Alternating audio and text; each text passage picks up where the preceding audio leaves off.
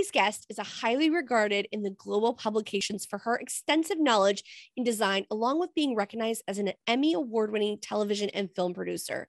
During the global shutdown, she made the decision to sell her home in Las Vegas and follow the call of her heart, making her way to her ranch in San Diego, which is now known as the Rocas Retreat. Because of her relationship, 12 years just ended, she knew that her ranch would be the perfect healing space. The vision came to her as she stood on a hill overlooking 15 acres that she'd purchased over a decade ago. This is when she realized that COVID and the global situation was an opportunity to go inside, heal herself, and create a healing space for others.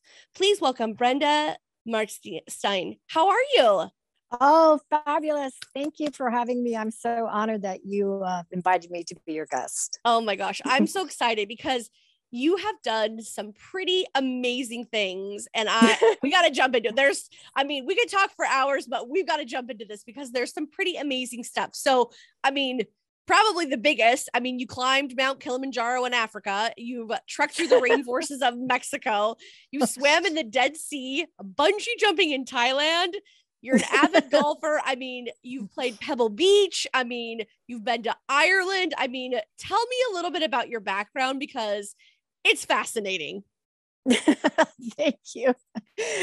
Oh, well, I'm I've lived a long lifetime to experience all those wonderful experiences, and um, that's what all that beautiful um, richness comes. And now with that happening, um, I'm a little I was a little girl in Arizona, and I always had these visions of and being an athlete that I wanted to travel. I wanted to travel the world and experience the world and so I did take up golf, and uh, that helped me, uh, you know, play in a lot of places all over the world.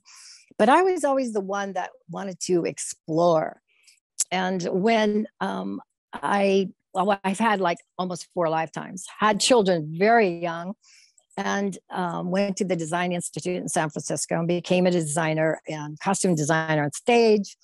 Um, started to enjoy the uh, life in the Bay Area um, where do I begin? Where do I end?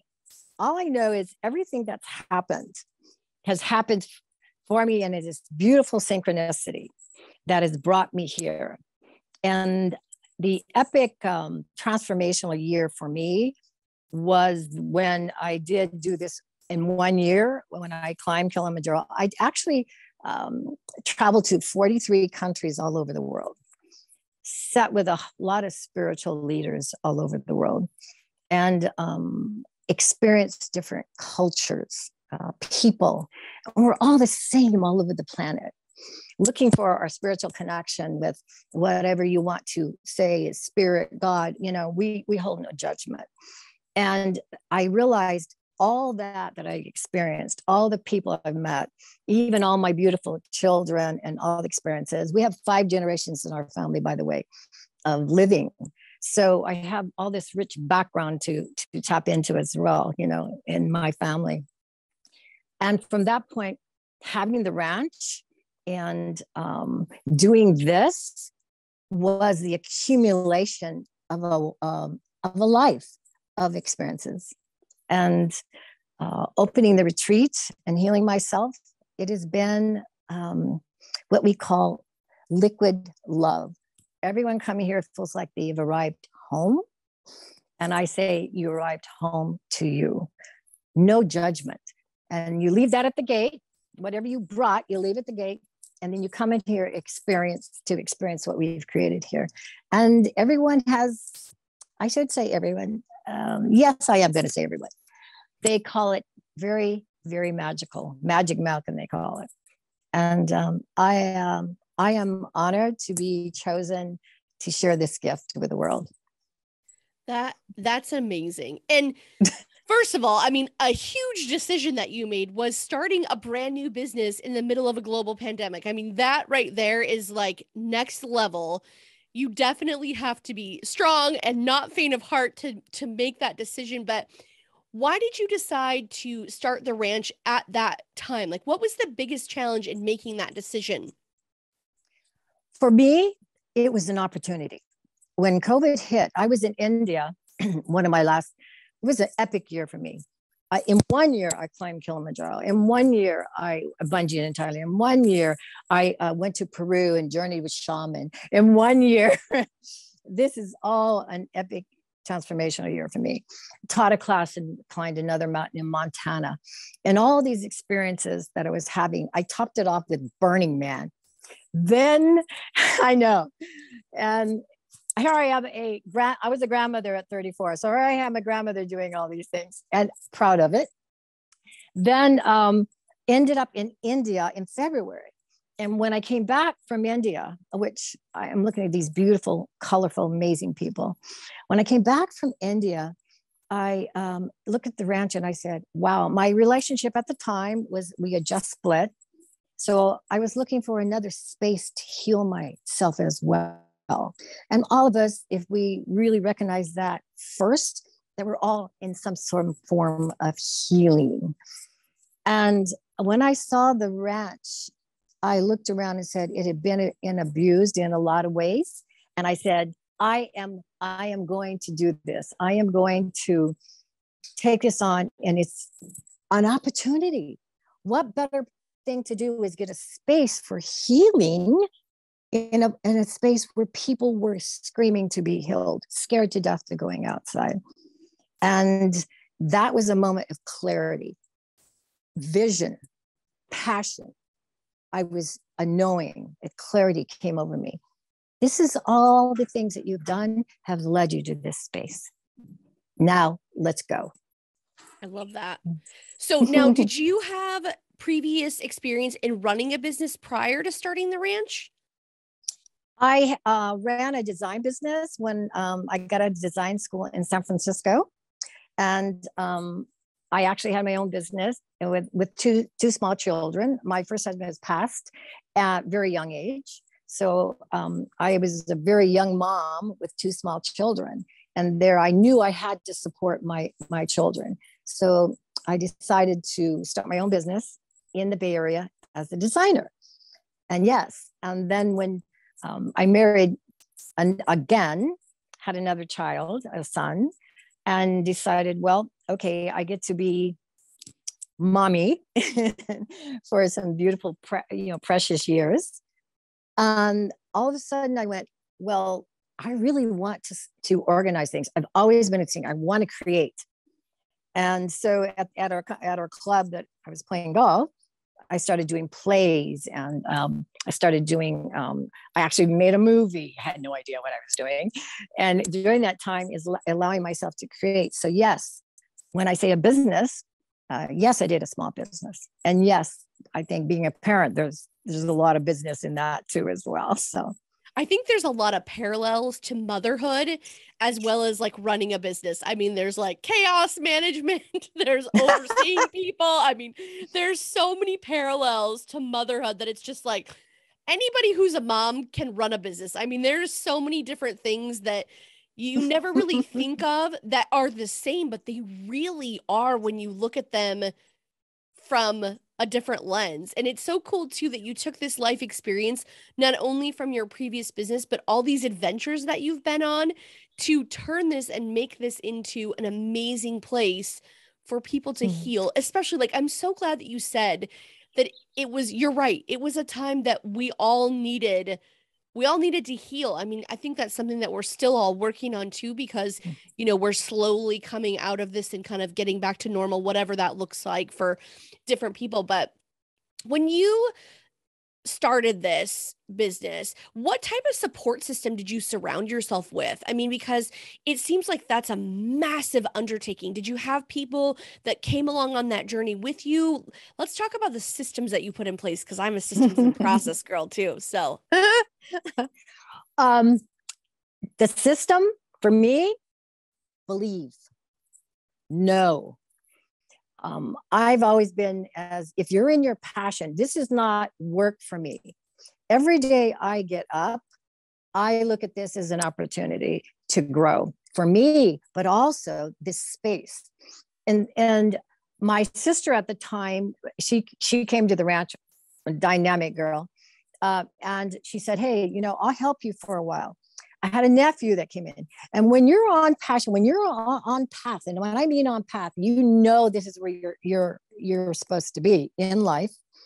And the synchronicities that start happening, you start energy is huge. You start drawing in the people that are supposed to be with you in this process. And some stay for a while, and some um, kind of go in and out.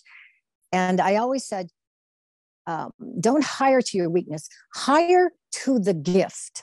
Okay. So I don't like the word weakness. So I, uh, what I've always done is watch what comes out of my mouth. and I said, well, this is not my gift. This is my gift, but this isn't. Therefore, my sister was the um, person that would crawl in the attic and get rid of the, the, the mice. My nephew is the one that crawled under the house and put the air conditioning units. And then my tech guy who'd worked for me for 12 years decided to come work with me um, full time. He's tech. Then a beautiful um, lady that was a friend of my daughter's came and said, Okay, I'm wealth management, but I want to change my life and I want to be yoga. And so now she's my COO. So all these people started fitting this beautiful puzzle piece that came. But I feel that when you are really passionate about what you're doing and, you, and you're in the right place in your life, and I believe that what happens energetically, things start to work. And that's exactly what did and is happening what would you say to someone if they're if they know that they are called to do more and they know that they want to do more like you mentioned like with the gal that transitioned from you know wealth management into a different role. What is something that you would tell someone if they're like i know that i want to do more but i don't know what to do. I don't know how to get there. Be comfortable with the uncomfortability because if you are doing that, that means you're growing out of the pattern that you've already done. This has got you to this place in your life, everything that you've acquired and all that knowledge.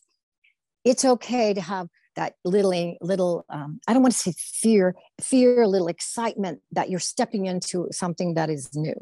You know, making that first step is sometimes the hardest, but once you make it and you go, okay, this this is what i'm going to do this is my vision i i saw a vision and this is my vision and this is my passion.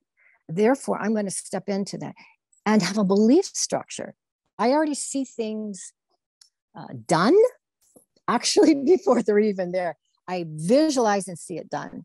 Then it's almost like a stream and the water flows to wherever that is because now you've already created the vision and it's very powerful. So be comfortable with the uncomfortability because now you're stepping into something new and excitement. You're creating that for yourself. I love that. It reminds me of a quote where somebody said, you know, hard is not always bad. So when things are hard, that could actually be a sign that things are going the way that they're supposed to because it's uncomfortable. And that's when we mm. grow the most. Yes. Yes. Yes, we do and you're asking yourself every time you're doing that you're asking yourself to grow and be proud. Be proud of yourself like okay when i mean pride is is just i'm learning to receive if someone gives me a compliment now i'm receiving that. And it's going in this wonderful little bank of of you know like okay i'm on the right path. And um it's exciting. Be excited for yourself Absolutely. now, where can people find out more information about the ranch if they want to come visit you or find out more information? Where's the best place for people to go? Okay, Rocas, R O C A S, which is rocks in Spanish, retreat.com. And that's our website. And you can book your stays. It'll show you all the places that we've done. We've got a winery that we converted into a place to stay.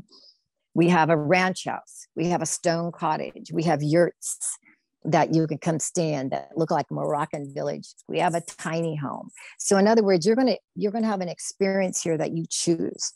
We have a meditation room. We we have a lot, and we're growing all the time. So um, then whatever you, it's almost like is this menu, the sports board. What are you here to experience? Oh, that's so exciting. Now, one thing that I ask every single podcast guest is what is one piece of advice that you would give to a small business owner that's listening? Mm. energy. Okay. Your energy, your passion is that what you're stepping into. Always know that that's going to draw in um, um, the people that you need to be there for you. So, energetically, put it out there, but always in that, stay in the passion part because people recognize that. People recognize that energy and that passion. And even times when it's hard, you know, it, and you think it's hard, that is a time to step into more growth. So uh, I think that keep the passion and the energy. Oh, I mm. love that. Thank you so much for spending time with us. I know that you've got a lot going on. So thank yeah. you again for being here. I appreciate it so much. Thank you, Jillian. You are awesome. Thank you. I love I love your energy. Thank you. I appreciate that.